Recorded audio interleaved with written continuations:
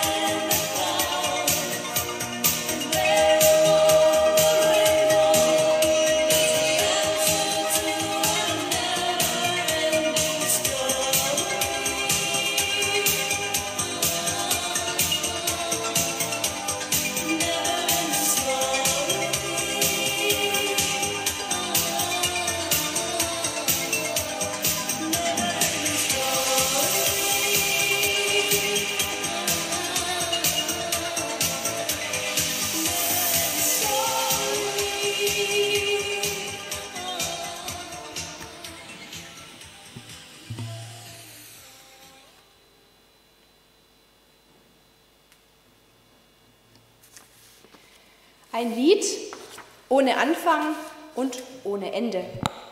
Getragen von glitzernden, gebrochenen Keyboard-Akkorden, begleitet von asiatisch anmutenden Einwürfen und, wie es sich für Poplieder damals gehörte, einem eingängigen kurzen Gitarrensolo, nicht so anspruchsvoll natürlich. Ein Lied, das exotisch klang, gerade passend für einen Film, in dem bis dahin unbekannte Fantasiewesen wie Zweisiedler, Felsenbeißer, Irrlichter oder Glücksdrachen zum Leben erweckt worden waren. Die Gemeinde, Sie haben es sicher bemerkt, es ist weniger der Text, den ich mit dem Lied in Verbindung bringe, sondern die Musik, die Melodie und die Stimmung. Vielleicht liegt es daran, dass ich mit 13 einfach noch nicht so sehr an englischen Texten interessiert war, denn meine erste Fremdsprache war Französisch gewesen. Aber folgende Zeilen haben sich doch eingeprägt, weil sie öfters von der Frauenstimme gesungen wurden. Rhymes that keep their secrets will unfold behind the clouds, and there upon a rainbow is the answer to a never-ending story. Zu Deutsch, Verse, die ihre Geheimnisse bewahren, werden sich über den Wolken entfalten. Und da, jenseits des Regenbogens, da liegt die Antwort zu einer unendlichen Geschichte. Die Zeilen hatten zugegeben wenig mit dem Buch von Michael Ende zu tun, mit dem Film übrigens auch nicht, sondern die Zeilen hatten Vielmehr, und das ist mir erst später so aufgegangen, mit dem anderen dicken Buch zu tun, nämlich mit der Bibel, mit dem Buch, das auch in meinem Regal im Kinderzimmer stand und auf die Lektüre wartete. Und ich muss sagen, dass sich das bis heute bewahrheitet hat. Es ist ein Buch ohne Anfang und ohne Ende, eine endlose Lektüre, immer wieder überraschend durch Abschnitte, Geschichten oder Verse, die man noch nie gelesen hat und vor allem eine Geschichte oder eine Beziehung von Gott zu seinen Menschen, zu uns, die sich verändert und immer weiter verändern wird, je älter wir werden. Eine Geschichte, die ihr Gesicht wandelt, weil auch das Leben sich wandelt und das ist wirklich fantastisch. Dieses Lied, das wir eben gehört haben, es ist ein sogenanntes Fade-in-Lied. Ich weiß nicht, ob Sie es am Anfang gehört haben. Es gleitet so rein, es wird von ganz leise immer lauter. Wir sind als 13-, 14-Jährige fast verrückt geworden vor dem Kassettenrekorder, als wir das vom Radio aufnehmen wollten, weil wir immer gedacht haben, wir haben den richtigen Anfang verpasst. Aber nein, das Lied gehört so. Es fängt ganz leise an, bis es dann seine normale Tonhöhe erreicht hat. Ich kenne kein anderes Lied, das so beginnt. Lieder haben einen Anfang, einen Anfangsakkord, ein leises Klingen meinetwegen oder der Interpret, die Interpretin fängt an zu singen. Aber keines gleitet einfach so rein. Auch bei der Bibel ist das so. Wohl steht da auf der ersten Seite, am Anfang schuf Gott Himmel und Erde, und die Erde war wüst und leer, und der Geist Gottes schwebte auf den Wassern. Aber wo kommt dieser Geist her? War er schon immer da? Was war davor? Es gibt auch hier keinen richtigen Anfang. Und gibt es ein Ende oder gibt es auch bei der Bibel ein sogenanntes Fade-out? Denn Sie haben bei dem Lied ja auch gemerkt, es hört auch wieder auf, es verschwindet wieder im, in der Lautlosigkeit. Wenn wir an die Schlussverse unserer Bibel schauen, dann ist das Ende zumindest offen. Und ehrlich gesagt müssen wir uns bei diesem Ende auf einen Seher verlassen, dessen Visionen alles andere als zuverlässig sind. Sie haben vorher in der Schriftlesung einen Abschnitt aus der Thronsaalvision gehört und haben schon gemerkt, das sind fantastische Bilder, die man kaum in richtige Bilder packen kann, was er sieht, die Augen innen und außen. So endet also das Buch und es ist nicht ganz zuverlässig. Wie viele Theologen sind nicht an einer Endzeitberechnung grandios gescheitert, weil sie versucht haben, diese Buchstaben in eine mathematische Formel zu packen? Johannes spricht in seiner Offenbarung von einem Endgericht. Aber was passiert dann? Werden wir bei Gott sein und wenn ja, Hat das denn ein Ende? Ich kann keines finden. Die Bibel ist tatsächlich und wahrhaftig eine unendliche Geschichte. Und es gibt so viele Verse und Geschichten, die ihr Geheimnis bewahren. Rhymes that keep their secrets. Oft lebenslänglich sind uns ihre Bedeutungen verschlossen. Oder sie offenbaren sich in ihrer wahren Gestalt, wenn man es nicht erwartet. Hm. Oder wenn man sich einbildet, es gäbe nichts mehr zu entdecken. Als Pfarrerin kennt man die ganze Bibel. Und trotzdem, wenn man es nicht erwartet, stößt man doch auf einen Gedanken, den man so noch nie gehört hat. Rhymes that keep their secrets will unfold behind the clouds. Da ist sie dann, die Antwort zu einer unendlichen Geschichte. Der Trost in den geschriebenen Worten hier, dieser Trost, der offenbart sich nicht beim Lesen, sondern im Leben damit. Sonst bewahren diese Verse eben ihr Geheimnis, sonst bleiben es nur Buchstaben. Und es geschieht ganz spontan und unmittelbar, dass sich dieses Buch erschließt. Die Bedingung ist aber, man muss sich darauf einlassen wollen. Man kann die Bibel nicht von Anfang bis Ende durchlesen und dann sagen, man habe sie verstanden. Denn die Bibel lesen und studieren, das kann auch der Teufel. Wir haben es im Evangelium auch irgendwann gelesen. Es ist das Geheimnis, dass sich die Worte und Bedeutungen erst erschließen, wenn man so in dieses Buch hineingezogen wird, wie es einem der Hauptdarsteller bei der unendlichen Geschichte, den zehnjährigen Bastian, auch passiert. Er wird hineingezogen in diese Geschichte und kann nicht anders als diese Geschichte dann zu leben. Wenn man die Bibel in sein Leben lässt oder sich kopfüber in sie hineinstürzt und mit ihr die Welt oder die Sichtweise verändert oder beeinflusst, dann erst wird sie Teil von meinem eigenen Leben.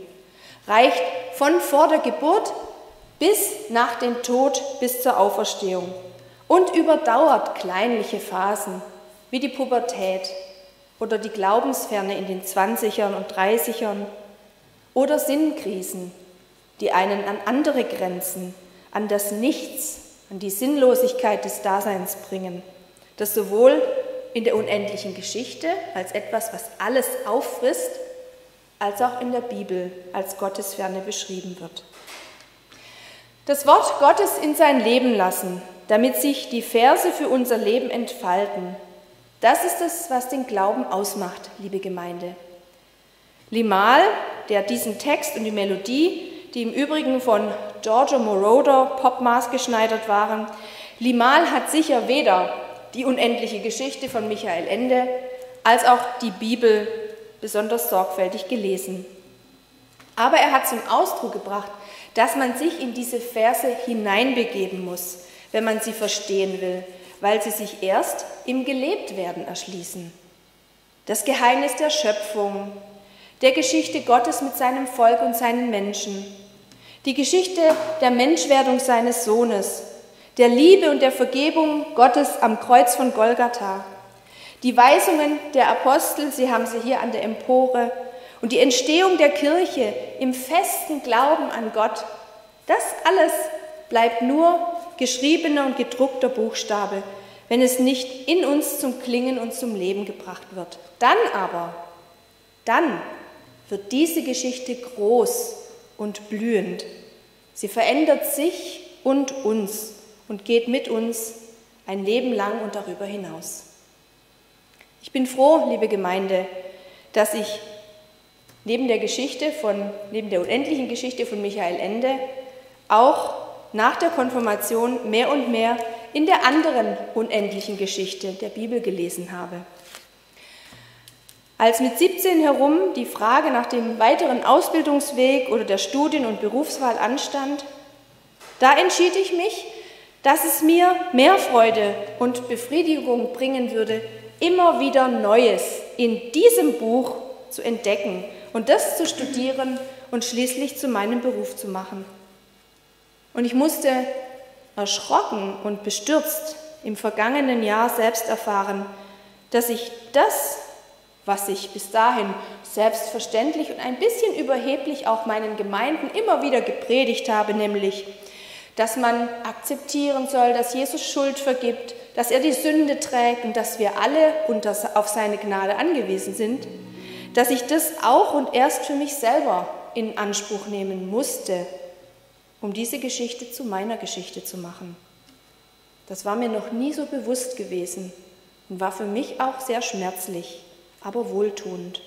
Und wer weiß, welche Bedeutungsebenen sich in meiner letzten Hälfte des Lebens hier noch erschließen werden. Ich freue mich darauf. Liebe Gemeinde, ich habe die unendliche Geschichte im diesjährigen Sommerurlaub mit im Gepäck gehabt und sie noch einmal bewusst gelesen. Zwei meiner Söhne übrigens auch, weil das Wetter nicht so toll war. Und was soll ich sagen? Es ist letztlich nur ein Buch. Ein gut und originell gemachtes Buch und ein fesselndes Buch, sicher. Doch nach der letzten Seite ist diese Geschichte wie jede andere Geschichte zu Ende. Nach dem Buchrücken kommt nichts mehr. Und über das Lied von Limal brauche ich erst recht nichts zu sagen. Never Ending Story ist sein einziger großer Hit gewesen. Und die einst so coolen und spektakulären Filmkulissen stauben heute in den Bavaria Filmstudios vor sich hin. Ich bin froh, dass wir Christinnen und Christen auf ein anderes Buch zurückgreifen können, wo Unendlichkeit nicht nur auf dem Titel steht, sondern sich im Leben und darüber hinaus verwirklicht.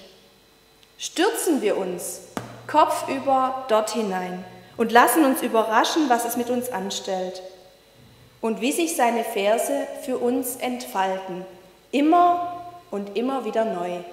Lesen wir die Never-Ending Story. Amen.